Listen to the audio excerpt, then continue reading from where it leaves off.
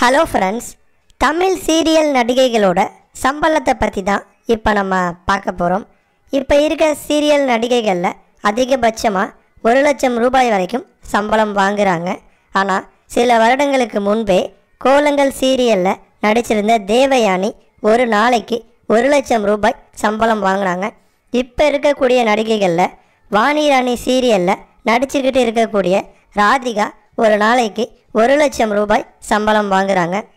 இவங்களுக்கு அடுத்தபடியாக சினிமாவில் இருந்து சீரியலுக்குள்ளே நுழைஞ்ச ரம்யா கிருஷ்ணன் குஷ்பு சோனியா அகர்வால் இவங்கெல்லாம் ஒரு நாளைக்கு ஐம்பதாயிரம் ரூபாய் சம்பளம் வாங்குறாங்க. சன் டிவியில் ஒளிபரப்பான தென்றல் விஜய் டிவியில் ஆஃபீஸ் மற்றும் சன் டிவியில் அபூர்வ ராகங்கள் ஆகிய சீரியல்களில் நடித்த ஸ்ருதி ஒரு நாளைக்கு இருபத்தி அஞ்சாயிரம் ரூபாய் சம்பளம் வாங்குறாங்க.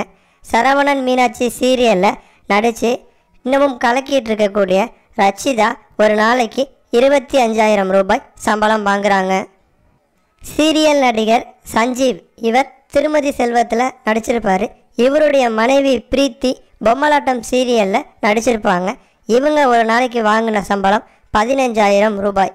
பிரியமானவளே சீரியலில் அம்மா கேரக்டரில் சூப்பராக நடிச்சுக்கிட்டு இருக்கக்கூடிய பிரவீனா ஒரு நாளைக்கு பத்தாயிரம் ரூபாய் சம்பளம் வாங்குறாங்க.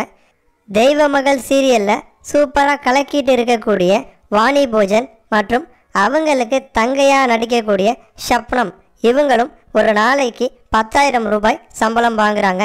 இதுபோக சீரியல் நடிகை மற்றும் நடிகைகளோட அண்ணனாகவோ தம்பியாகவோ இல்லை ஒரு சில காட்சிகளில் மட்டும் வரக்கூடிய நடிகை நடிகைகள் ஒரு நாளைக்கு ஐநூறு ரூபாயிலிருந்து ரெண்டாயிரம் ரூபாய் வரைக்கும் சம்பளம் வாங்குறாங்க.